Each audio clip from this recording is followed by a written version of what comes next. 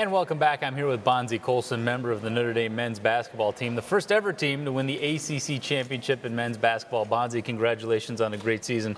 We're going to talk about it in just a minute, but first, the life of a student athlete is that uh, you're constantly bouncing between class and basketball. I know you just came from a class. Where were you at? I was at Human Ethology up at D-Bar. Uh, it was a great class with uh, Professor McKenna.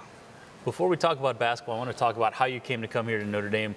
Tell me where you grew up and why you ultimately decided to come here to Notre Dame. Uh, well, I was born in Upper Marlboro, uh, Maryland, and um, at George Washington Hospital was my dad was coaching GW at the time, and then he got a coaching job at BC, and then I moved to New Bedford, Massachusetts, and ever since I live there. And um, you know, basketball. I was raised into playing basketball. My dad's been, uh, you know, a basketball coach, you know, my whole life, and you know, it's a game I love to play.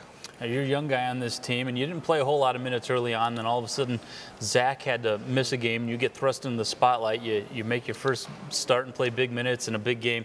Take us through that moment, what it was like for you. I was just excited, excited to go out there and play, you know, the game I love, man. You know, uh, played against Miami. You know, I go, remember going over the scout report, just being ready and prepared, you know, to play against them. You know, they were a talented team uh, I'm just really happy just to go out there and play the game again. Great season for you guys. A lot of monumental wins. You beat Duke and Carolina back to back to win the ACC title. What was that like?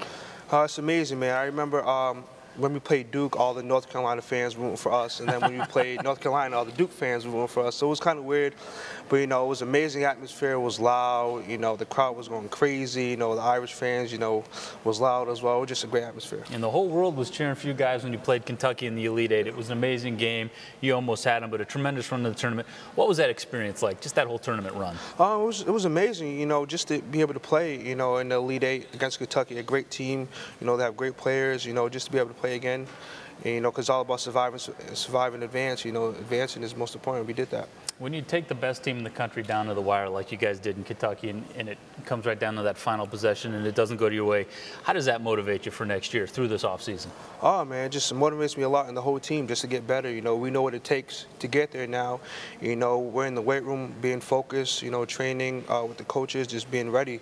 You know, we want to go out there, you know, do what we did and do what we did better. You guys lose two really big players in Pat and Jerian, but a lot of you guys coming back next year. What do we expect from the Irish in next yeah, season? You know, hopefully the same thing and more. We know what it takes now, so. Uh, you know, let's do it. We're ready. All right, Bonzie, it's always a pleasure talking to Thank you. Thank you. Appreciate it. Good luck next year. Again, Thanks. that's Bonzie Colson of the Notre Dame men's basketball team.